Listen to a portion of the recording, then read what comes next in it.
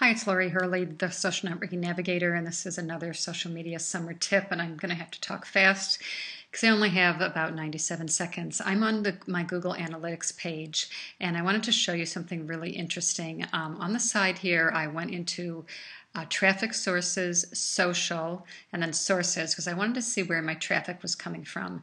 Now, keep in mind, my website has only had Google Analytics on it for about a month, maybe a little more than that, month and a half.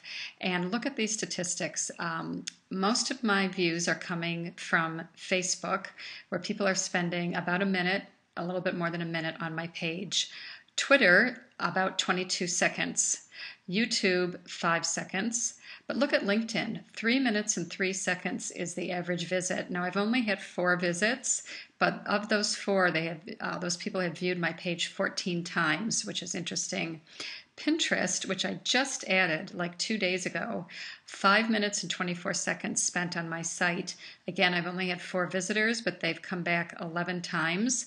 And then paper.li is not something I do. I don't know that kind of got in there. But really interesting to take a look at your social media um, networks and see where your um, who's linking from which network onto your website because your website is the bottom of your funnel. That's where you want all of your traffic to be directed to. So you want to put your website link on all of these different social media venues that you're on to direct traffic over to your website.